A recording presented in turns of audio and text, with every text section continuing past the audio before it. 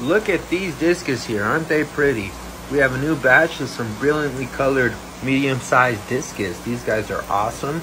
They appreciate more softer acidic water and they're delicate fish so they do need some acclimation time.